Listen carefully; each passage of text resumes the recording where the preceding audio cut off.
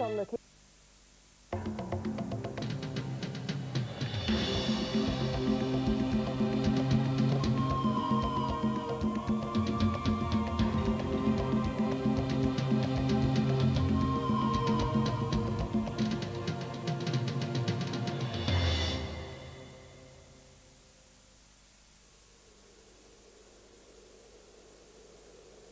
biblical times, Israel was sometimes called the land of the gazelle.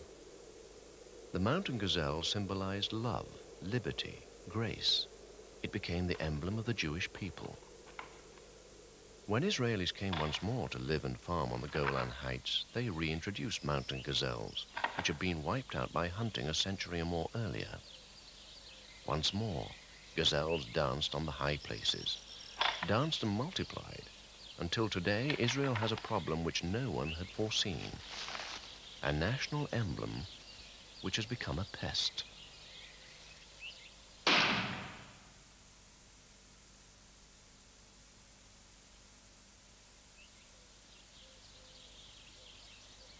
In the ruins of the palace built by the Sultan Hisham near Jericho, a mosaic floor from the 8th century depicts the gazelle of Israel falling prey to the Arab lion, as indeed it had a century earlier.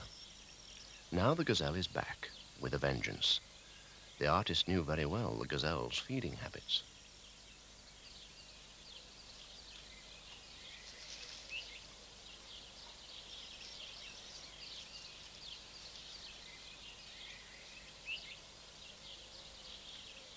Gazelles breed all the year round, with a main peak in the autumn, but spring is a time of considerable activity.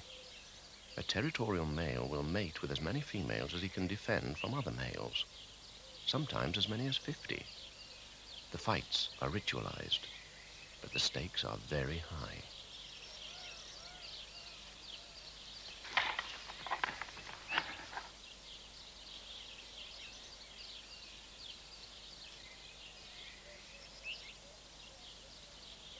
Contest will be decided by a combination of weight and strength. A few brief horn-to-horn -horn contacts are usually enough to let each contestant know where he stands.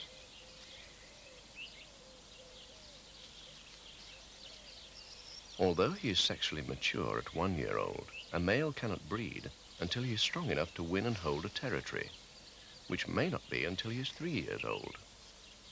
Horning plants and urinating are ways of marking the boundary. Any male which drops out of the competition for any reason, whether it's old age, injury, or death, will be replaced immediately.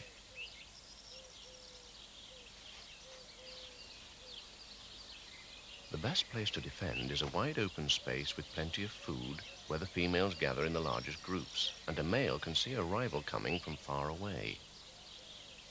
A female can mate at the age of about seven months and again about 10 days after she has given birth.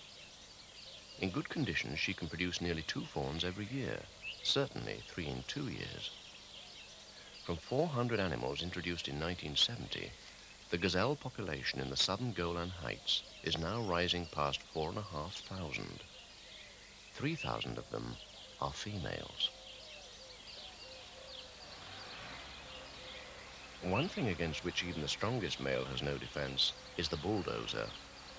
As more and more of the Golan is taken over for agriculture, the gazelles can only keep out of the way and watch their food supply being pushed aside.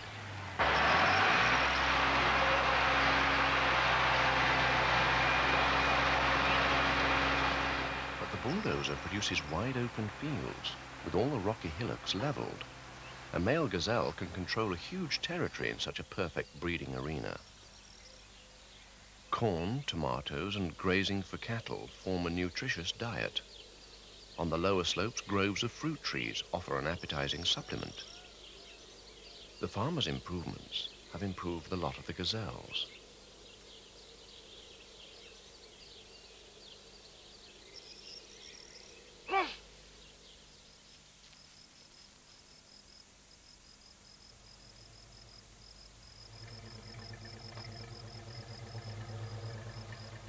Another improvement for the gazelles arises from the farmer's concern for their stock. The Golan Heights have a varied population of predators, including jackals, which the farmers accuse of killing calves. It's equally likely that the jackals are scavenging stock which died of natural causes. But to pacify the farmers, rangers from the Nature Reserves Authority hunt jackals at night when they're most active. In fact, jackals may be the principal predators on gazelles. By shooting them, the authority is protecting or even boosting the gazelle population.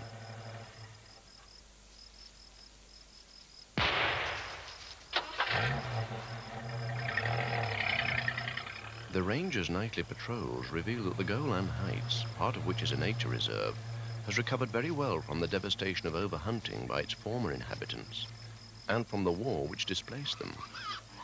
Wild boar are very common, even though they are enthusiastically hunted by both Arabs and Israelis. Porcupines are regularly seen at night, though they spend the day in hiding. Wildcats are scarce over most of Israel, but quite common here. The fox is the same species as is found in Europe, but here it is regarded neither as a pest nor as a noble quarry species. It is principally a scavenger, tidying up the carcasses of gazelles and other animals which die of natural causes.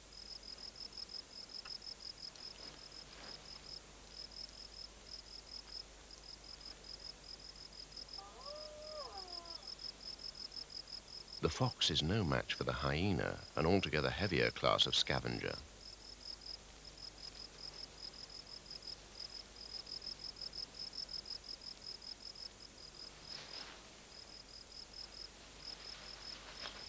As the foxes disconsolately watch their dinner being removed, they might at least be thankful that they're not tarred with the same brush as the jackals.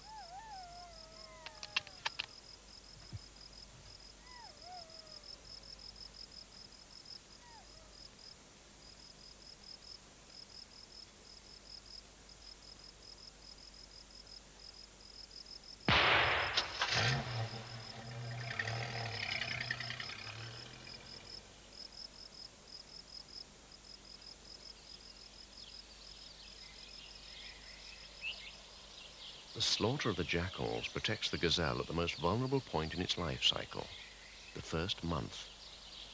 The mother goes off alone to give birth so that her fawn will be hidden from view. Feral dogs are another threat which she must guard against.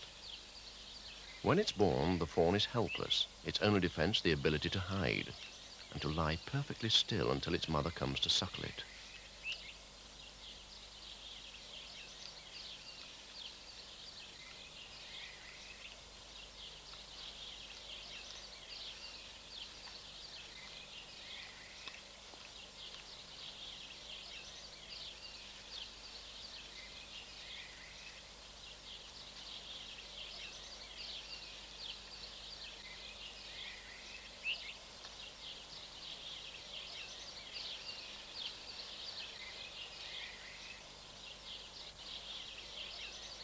It alert for danger, but only so that it will not be startled into sudden movement. Lying still in the grass, it becomes invisible. A family of woodchat shrikes benefits from the abundant insect life of high summer.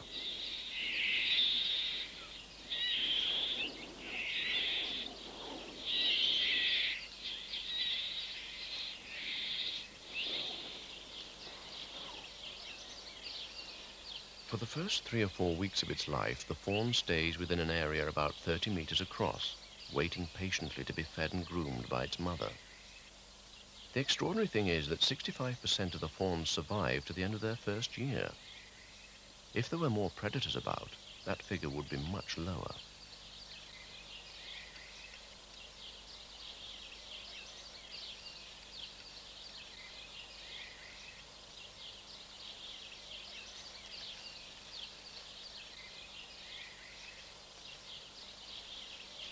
When the fawn is about a month old, it will follow its mother everywhere she goes. She will defend a small, movable feeding territory for the two of them, wandering far and wide in search of the best places. For the time being, though, the fawn stays put.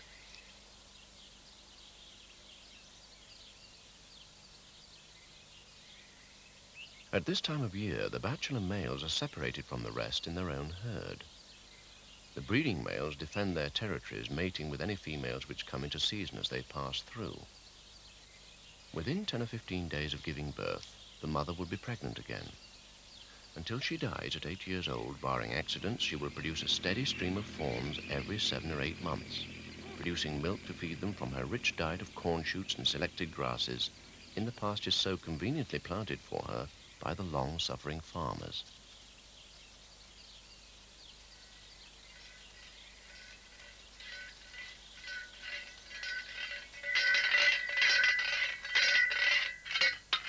Farmers have tried driving the gazelles away, even shooting some, which is illegal, since the gazelle is a protected species. They keep on coming back. Fencing is one answer, but it's very expensive to set up, beyond the reach of most farmers. For those who can afford to put up fences, they make quite a difference, evidently offering just enough of an inconvenience to persuade the gazelles to feed elsewhere. The results can be seen when the crop ripens.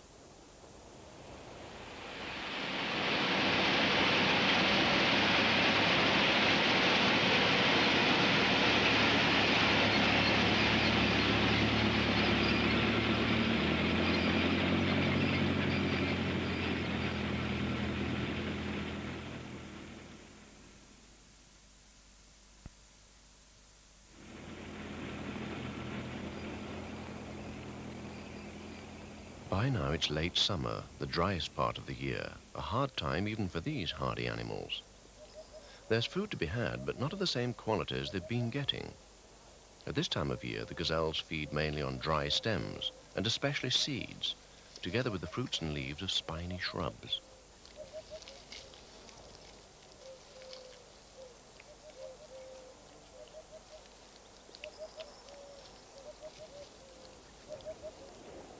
Where they can reach them, they browse from trees. You can tell gazelle country at a glance. Like those in English parks, its trees have a clear browse line just above the animal's head height.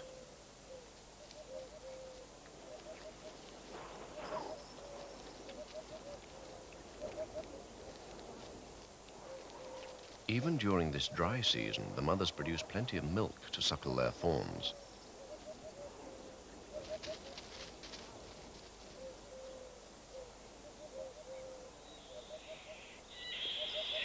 Shrikes have a new range of insect prey.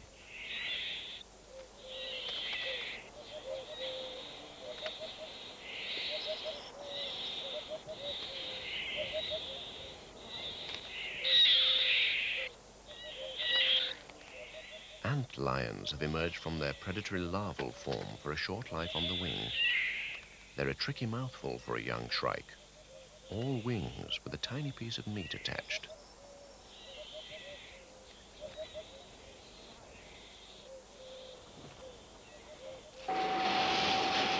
Among the seeds of summer is one variety which does the gazelles no good. They're colored by immersion in a seed dressing which poisons mice which dig them up. Gazelles are colorblind, and they don't find the seeds by digging them up. They are put in danger by a conspiracy of ants. The ants collect seeds during the dry season for food. They drag, heave, and maneuver them to the entrance to their nest, and thence underground.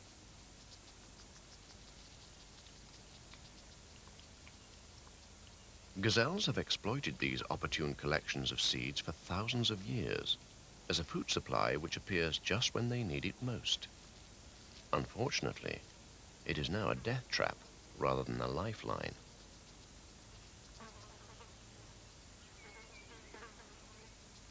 But the food chain must go on and above there are always the vultures.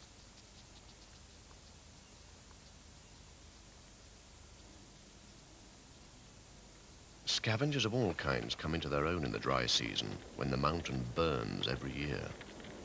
The fires are man-made to improve the grazing, but the result is to produce a heavy stress on all the wild animals as their food supply, such as it was, goes up in smoke.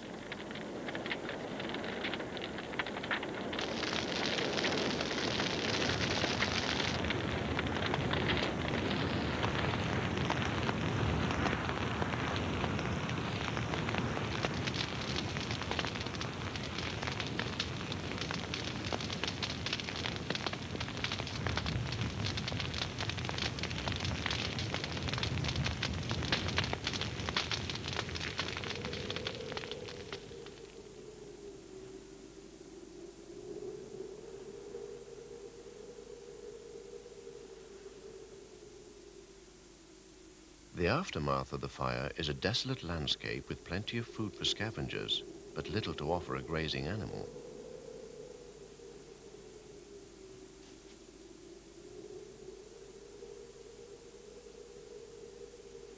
A few scorched seeds are all the gazelles can find.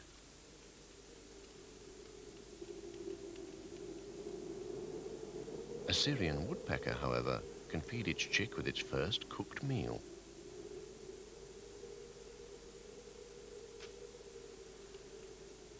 For the gazelles, the time has come to look for another source of food. They leave the burned out hillsides to move lower down, where mankind, as has become its habit in recent years, supplies their need.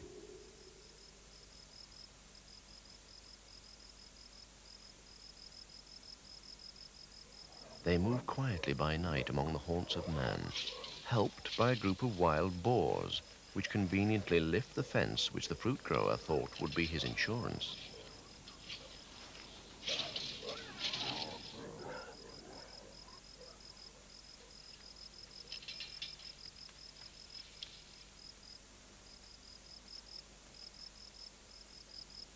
Grapefruit saplings and young citrus trees of all kinds are exactly to the gazelle's taste.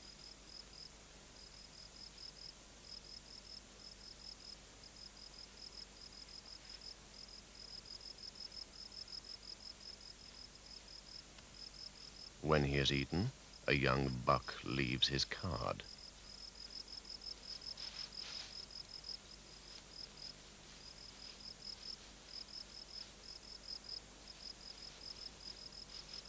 Driven from the mountain by fire and famine, and by the ever-increasing pressure of their own population, the gazelles are an irresistible force which the fruit growers have come to resent.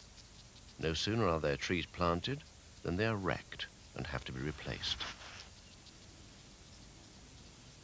The fruit growers and farmers joined forces to appeal to the Nature Reserve's authority to do something before they took the law into their own hands. They made it clear that they would not suffer this continued threat to their livelihood from any animal, no matter how protected or emblematic. The authorities set up a research program which lasted for four years, studying ways of attacking the problem. While they waited, the fruit growers tried everything and anything to protect themselves. A well-known brand of soap has been said to deter gazelles from molesting mangoes. The farmers tried it. Some said it worked, but nobody could say why. The soap manufacturers saw their sales rise, but said nothing.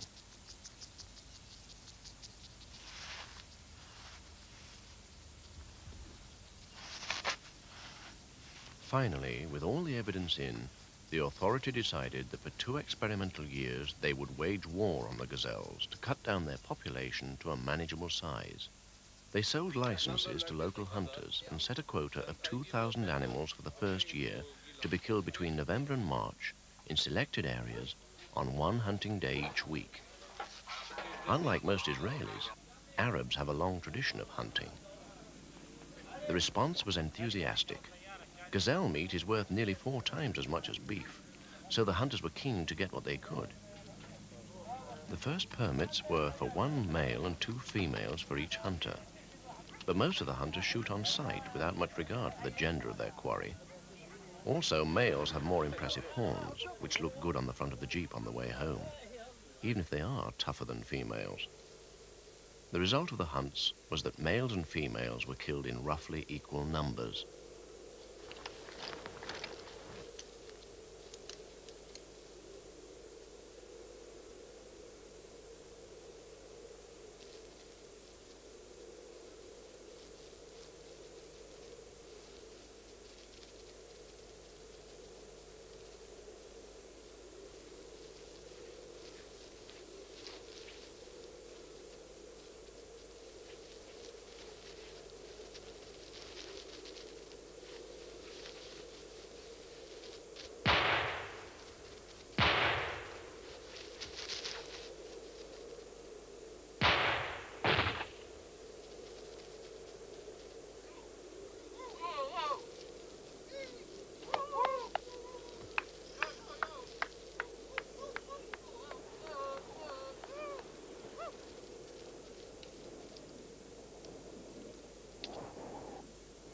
By tradition, animals for eating are put to death with a knife.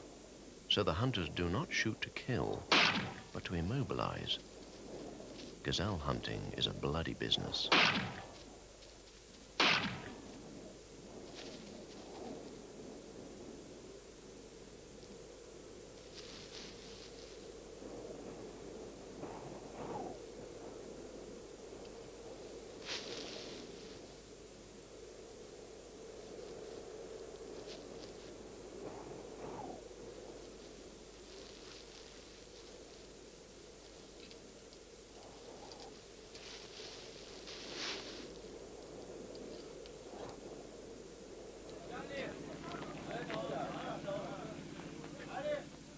Research by the Nature Reserves Authority showed that to reduce the population, the hunter should be killing four females for every male. In addition, there should be some permanent division between the cultivated land and the remaining wilderness. By straying onto agricultural land, the gazelles were not only eating crops and wrecking fruit trees, they were spreading foot and mouth disease as well. The scientist who led the research, a long-term student of gazelles, is Dr. Dan Bacharav. He is disturbed by the idea of hunting his favorite animal, but sees it as the only way.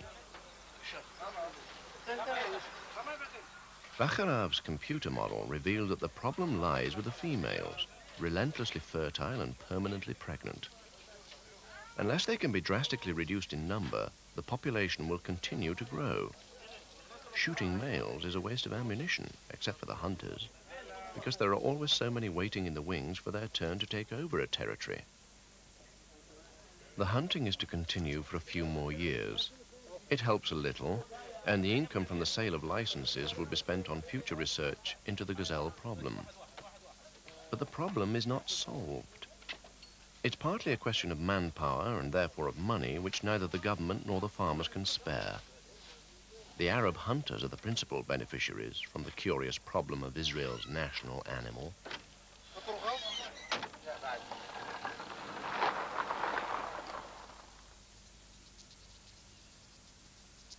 Fences are expensive and ineffectual.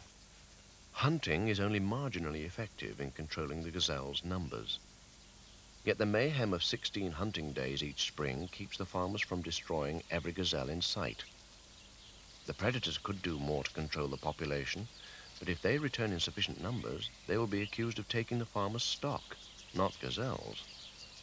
The more land the farmers cultivate, the happier and more fruitful the gazelles will be. To the people of the cities, the gazelle may be an emblem of all their country stands for. But to the farmers and the conservationists, it's a problem as thorny as any that ever tested the wisdom of Solomon.